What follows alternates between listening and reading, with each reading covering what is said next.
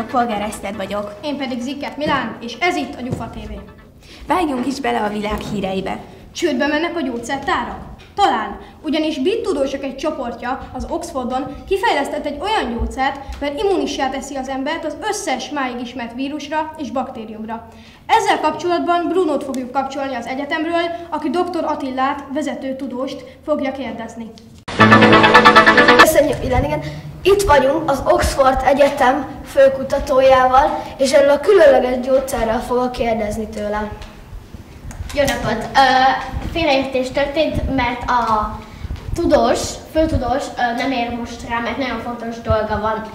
Szóval én az asszisztense jöttem el. Rendben. Ez a gyógyszer mikor lesz, elérhet, mikor lesz elér, elérhető? Sajnálom, ez szigorúan titkos. És miből készülnek ezek? Ezt nem mondhatom el. Azért kéne mondjon több dolgot is erről a gyógyszerről. Hát de csak ezt nyomták a kezembe. Ez egy ellenszer, ami mindent meggyógyít. A brit tudósok kifejlesztettek egy olyan baktériumot, melyet, ha az ember immunrendszere legyőz, immunis lesz az összes eddig ismert vírusa, baktériuma. Tehát nem fog tudni megbetegedni. Az anyag ellen egyenlőre tesztelés alatt áll, viszont az eredmények pozitívak. Azért komolyan már kiutazok ide, ennyit kapok? A semmit? A semmiért kijöttem? Úristenem, ő maga jól van? Mi a... Ö, Mi a... Ó, fene! Halló? Hát ez elaludt. Jézusom, mit adtál be neki? Semmi, de csak egy kis nyugtató! Most pedig a különleges és érdekfeszítő Titanic 3-ról hallunk megdöbbentő információkat, főleg rajongóknak.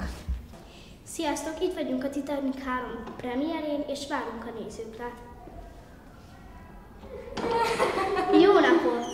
Jó napot! Milyen volt a Titanic 3? Nagyon jó volt, izgalmas Jó volt. volt.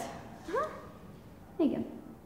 És melyik volt a kedvenc részük? Nekem az volt a kedvenc részem, amikor Jacket megtalálták a jéghegyben, amibe beleütközött a Titanic 3. Hát nekem meg az, amikor Jack összélt a kis habrányjal, Ariellel. Köszönjük, hogy adtak nekünk interjút, további szép napot, és most a stúdiót kapcsoljuk. Óriási hír történt a celebvilágban Shawn mendes és Camilla Cabello-val kapcsolatban. Bori, kérlek, mesélj nekünk erről. Köszi Milán, és köszi Eszti. Én Bori vagyok. A házi karantén mindenkinek unalmas volt, kivéve persze Sónak és Kamilának, akiknek kislányuk született, Suzy Mendes. Most már az álompárból álomszülők lettek. És várjál, ott vannak a rajongók is. Sziasztok! Akartok nyilatkozni Camila Cabello és Shawn Mendes gyerekéről? Öm, nagyon megrázó hír, mert nem tudom, hogy a sok koncert miatt marad-e idejük a gyermekükre. Hát én nem értek veled egyet. Um, én azt hiszem lesz nekik idő a babára, és azt hiszem ezt nagyon komolyan fogják felni, most ez az első gyerekük. Köszönjük.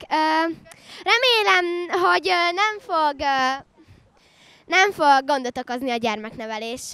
Itt Borit látták. Viszlát!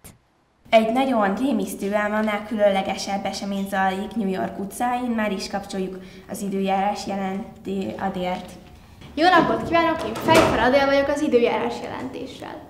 Sharknado, vagyis szápa tornádó tombol New York utcáin. Ez nagyon különleges esemény, ugyanis csak száz évente fordul elő. New York városából uh, indult el, és ott is van ugye fő, fő pontja, ahol ugye a legtöbb és a legveszélyesebb ilyen dolog történik, majd egy picit tovább terjedt uh, a környező városokba és államokba. Viszont most kaptuk a hírt, hogy nem csak cápák vannak, hanem bálnák, delfinek.